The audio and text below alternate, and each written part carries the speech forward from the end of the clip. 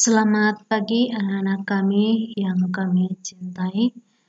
Nah, pagi ini kita akan membahas tentang pembelajaran bagaimana cara untuk membuat warna.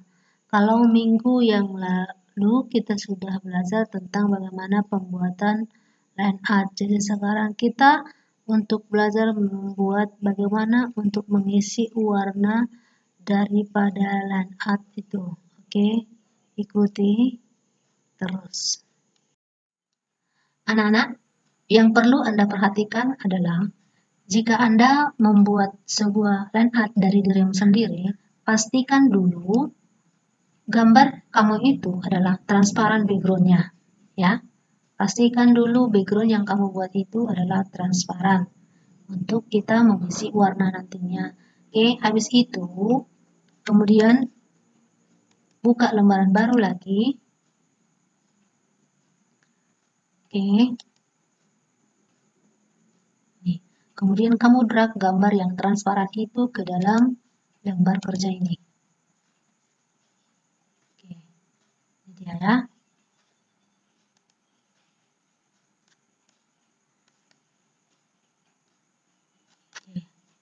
Kira-kira seperti ini.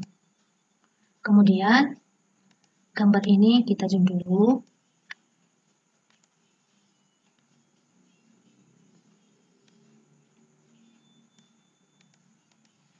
Nah, sekarang mukanya ini ini bayangkan aja nih dirimu sendiri ya, gambar kamu sendiri. Karena kan line art yang kamu buat nantinya adalah line art kamu sendiri, dirimu sendiri ya. Oke, sekarang kita pindahkan dulu, kita tandai adalah backgroundnya. Nah, lalu kita pilih warna.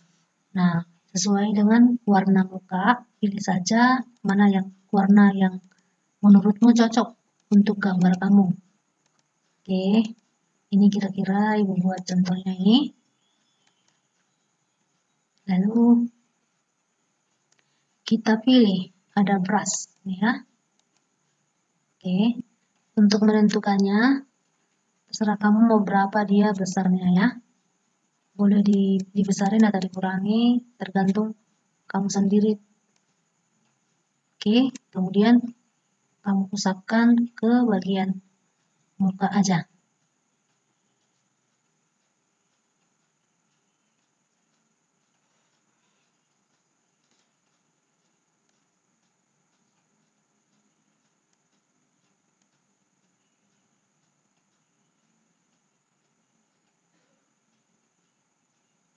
Oke.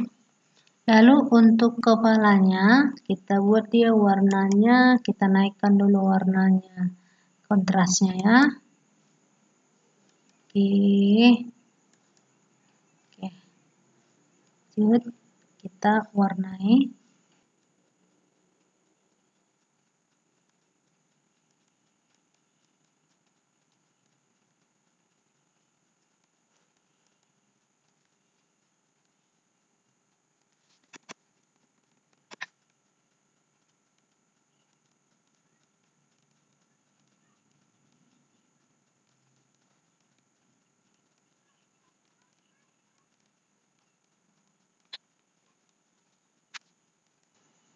Oke, kira-kira begini. Inilah gambar kamu. Nah,